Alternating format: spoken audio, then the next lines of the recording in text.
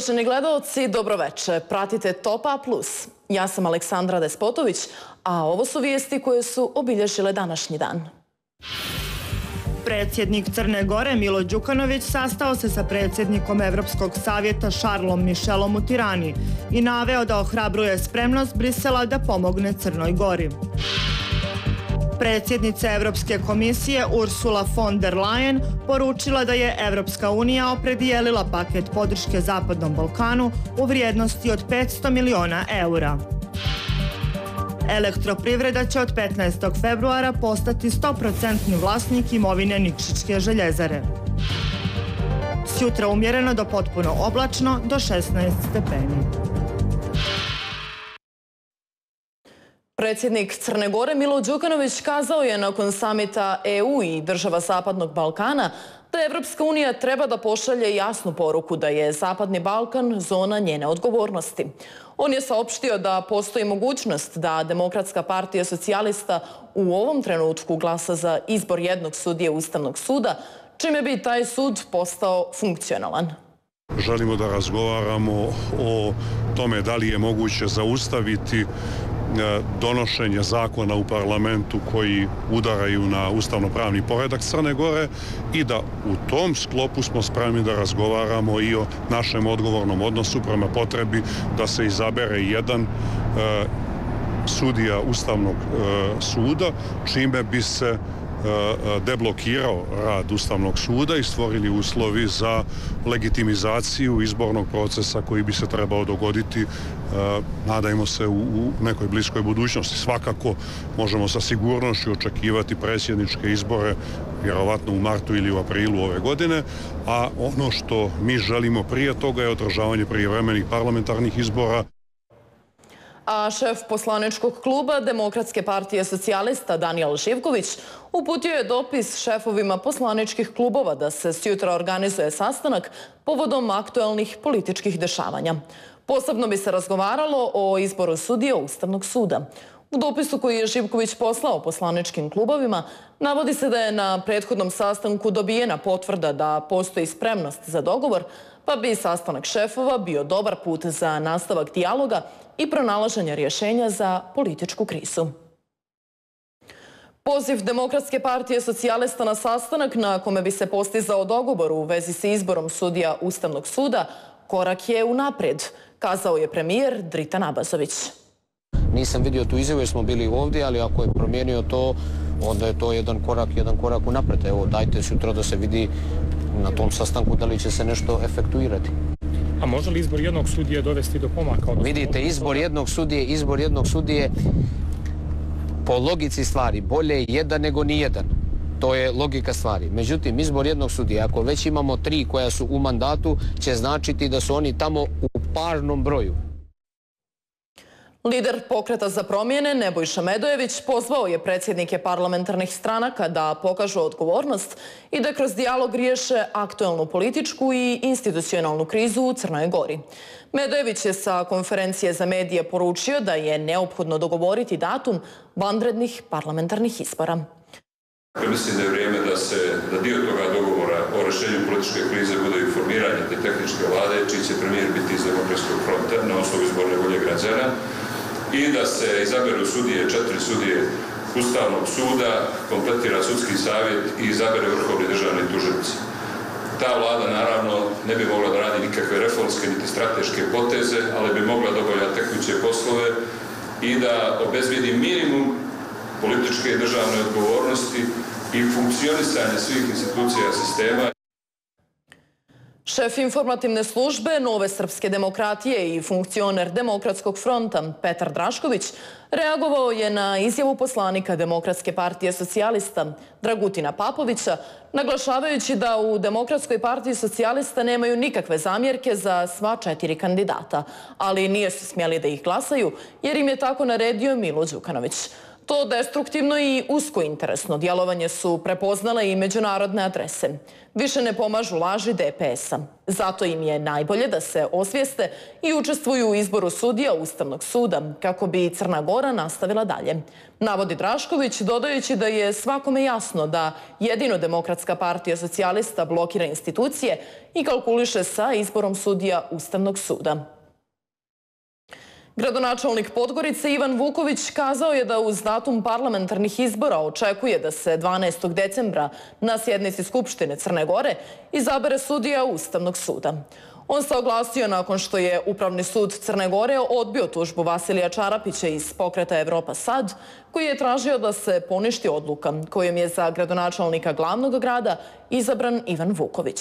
Ne očekujem izvinjenje zbog nevaspitanih napada Jakova Milotovića i njemu sličnih. Očekujem da uz datum parlamentarnih izbora dobijemo jednog sudiju Ustavnog suda, a time i priliku da konstituišemo novi saziv Skupštine glavnog grada i izaberemo novog gradonačalnika, napisao je Vuković na Twitteru. Demokratska Crna Gora ipak će biti dio nove lokalne vlasti u Zeti. Potvrdio je za portal radija i televizije Crne Gore nosila s liste Idemo ljudi, idemo Zeta, demokrate Luka Krstović. Demokratama će pripasti mjesto predsjednika Skupštine opštine Zeta, dok će predsjednik opštine biti iz redova Demokratskog fronta. Do dogovora je došlo nakon prvobitnih neuspjeha u pregovorima, kada su iz DF-a poručili da će vlast u Zeti formirati samo sa socijalističkom narodnom partijom.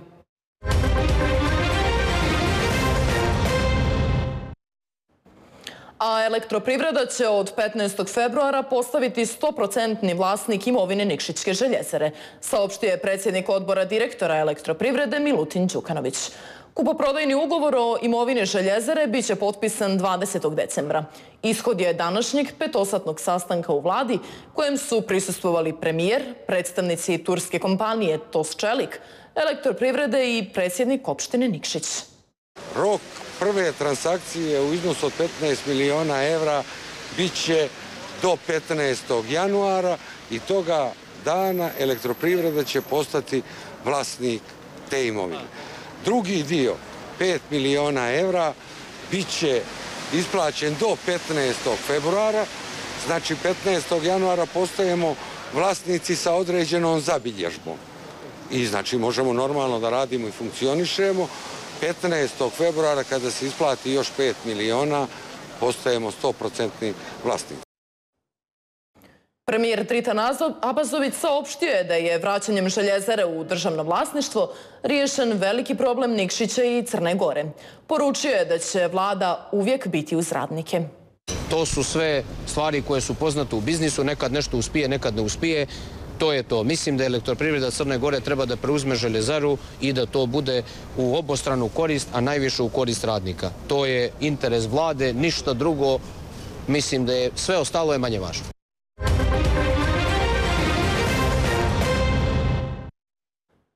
Predsjednica Evropske komisije Ursula von der Leyen poručila je danas iz Tirane kako je Evropska unija opredijelila paket podrške Zapadnom Balkanu u vrijednosti od 500 miliona eura.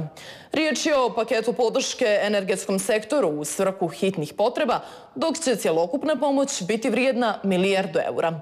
Od 500 miliona eura za hitne mjere podrške domaćinstvima, malim i srednjim preduzećima, Crna Gora može da računa na 30 miliona eura. Predsjednik Crne Gore Milo Đukanović prisustvovao je ceremoniji potpisivanja izjave o roamingu između Evropske unije i regionalnih telekomunikacijonih operatera. Potpisana izjava o roamingu između Evropske unije i regionalnih telekomunikacijonih operatera koje će omogućiti postepeno smanjenje cijena roaminga između Evropske unije i regiona. Navodi se u Twitter objavi predsjednika. Predsjednik Srbije Aleksandar Vučić istakao je po dolasku na samit lidera EU Zapadni Balkan u Tirani da je nakon konsultacija na državnom nivou odlučio da ipak dođe jer će na taj način Srbija imati šanse da kaže šta misli o pregovorima sa Prištinom i o pregovorima o pristupu Evropskoj uniji. Čini mi se uvijek da je bolje da je zato to važno ne samo zbog prijateljstva sa Albanijom i otvorenog Balkana, već da je uvek bolje biti za stolom, jer kad niste za stolom, onda ste obično na meniju i onda svi jedva dočekaju, tako da ovako je dobra prilika da čuvamo interes Srbije. Predsjednik Demokratske partije Salji Beriša napadnut je tokom današnjeg protesta Demokratske partije u Tirani. Nakon toga više demonstranata napalo je osobu koja je udarila lidera Demokratske partije, pričemu su skandirali Berišinu ime. Uslijedila je reakcija policije koja je napadača lišila slobode. Pogledajmo kako je to izgledalo.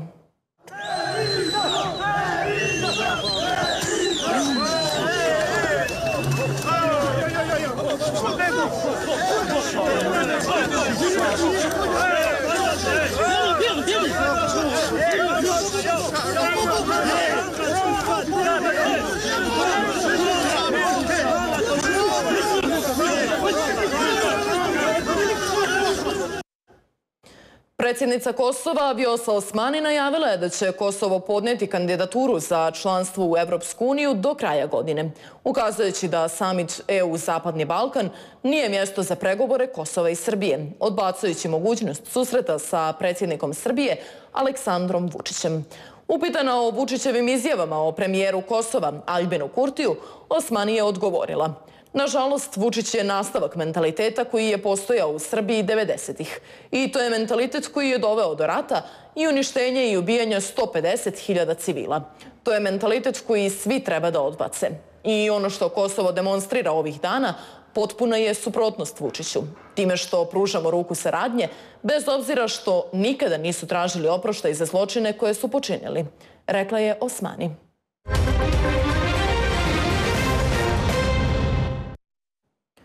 Osnovno državno tužilaštvo u Podgorici preduzima sve neophodne radnje u cilju otkrivanja krivičnih dijela koje su izvršene na štetu načelnika istražnog zatvora Predraga Spasojevića.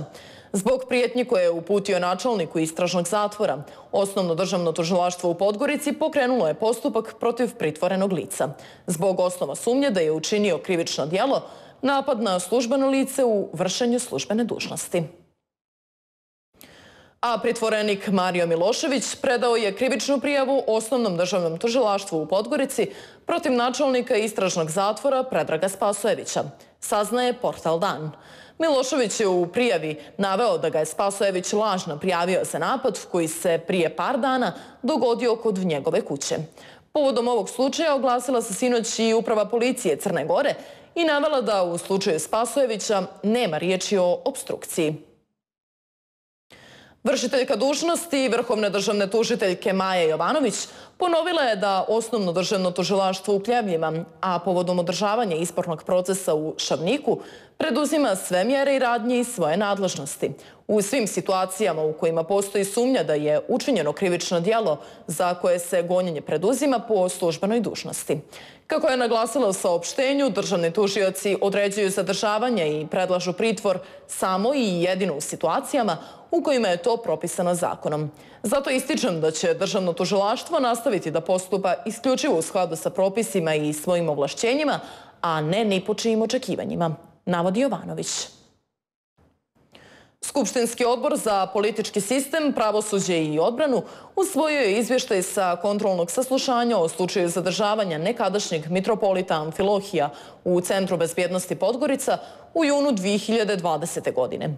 O slučaju zadržavanja preminulog mitropolita govorit će se i na plenumu. Odbor je ocijenio da je izostao odnos uvažavanja prema starijoj osobi, kao i primjeren odnos prema dokazanom autoritetu, zasnovanom na vrijednostima, čime se narušava i dostojanstvo ličnosti kao, što, kao zaštićena ustavna vrijednost. Naglašeno je u njihovoj ocjeni.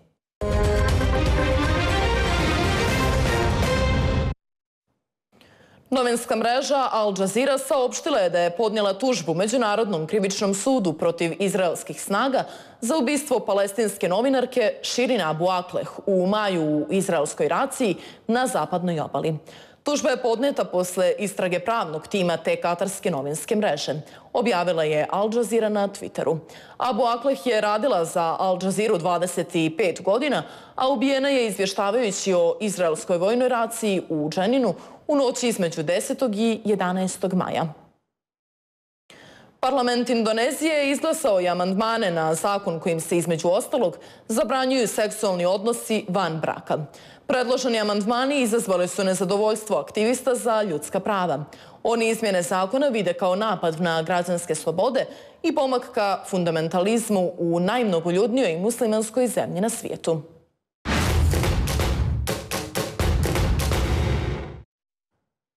Današnji dan na svjetskom prvenstvu u Kataru obilježavaju dvije utakmice. Završeni meč između Maroka i Španije rezultatom 3-0, a od 20 časova igraju Portugalije i Švajcarska. A utakmice 19. kola, posljednjeg u jesenjem dijelu Meridian Bet prve Crnogorske futbalske lige, bit će odigrane s jutra. Vodeća budućnost igraće u Danilovgradu protiv Iskre, dok će Sutjeska u Bijelom polju biti gost jedinstvo France. Duel u Danilovgradu zakazan je za 15, barski meč počeće u 17, dok su ostali zakazani za 13 časova.